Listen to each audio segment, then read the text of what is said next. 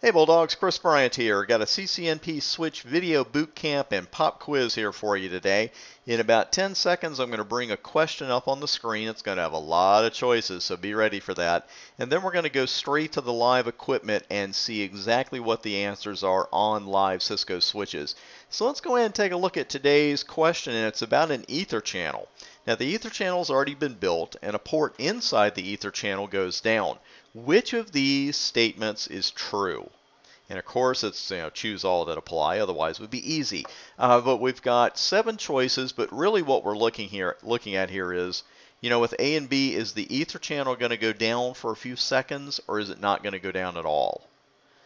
Then with C, D, and E, we're looking at it and saying, okay, is the port cost going to rise, lower, or not change? And then with F and G, you know, what happens when the port comes back up? Is it automatically going to rejoin the EC if it hasn't been reconfigured, or do we have to do something else?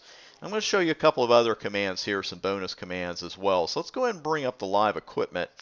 And I need to reposition that a bit. Thank you. Now, what's the first command we ought to run to see which one of our interfaces are trunking right now to begin with? Show interface trunk, right? So we've got PO1 here. That stands for port channel, the PO part, and the 1 is the number we gave it. It's port channel 1. And that is the logical excuse me, representation of our ether channel. So, so far, so good. Now, what about that ether channel show command? You got a lot of information you can get here. I would use summary.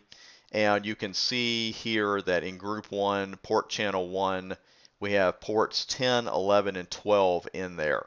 Now, how do we see that port cost and all of that? Same way we do with our regular ports, and that's with show spanning VLAN followed by the VLAN number. Now, we've got four other ports in the VLAN. We're not paying any attention to those in this particular question. And we've got a port channel 1, root, forwarding, and a cost of 9. So let's watch that because what I'm about to do is go ahead and shut down port 10. The joy of a lab. And we'll just shut it down. Let's see what the resulting messages are. And a little bit's going to be off the screen. And I'm going to go ahead and run show spanning VLAN 1 again.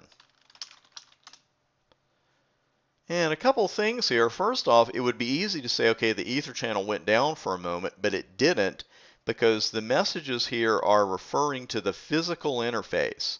Of course, administratively down, one of the very first things we learned is that means that support's been shut down, and then we've got our line protocol. Naturally, that's going to be down, but the ether channel itself did not go down.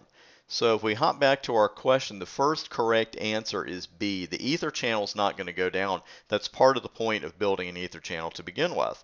Now, as far as the port cost rising, lowering, or changing, since there's less bandwidth in the ether channel now because we lost one of our ports, we lost one of our channels in the ether channel, the cost is going to go up because the more bandwidth we have available, the lower the port cost. So here, the cost went up. That is a result of an ether channel. So the next correct answer is C, the port cost will rise.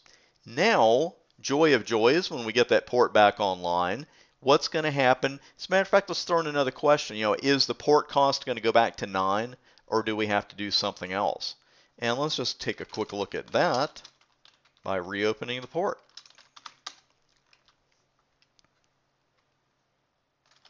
I knew I wouldn't get it out of there. VLAN 1. We see the port came back up and we got our line protocol message just three seconds later there at the very bottom. But the key here is the port cost has gone right back down to 9.